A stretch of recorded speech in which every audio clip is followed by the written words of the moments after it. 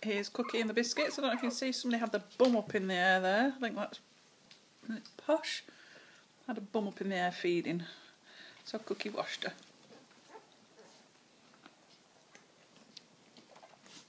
Been an amazing mum. They're exactly a week old today, 9th of November 2016.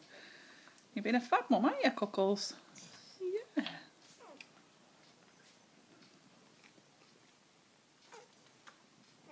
Little fatties.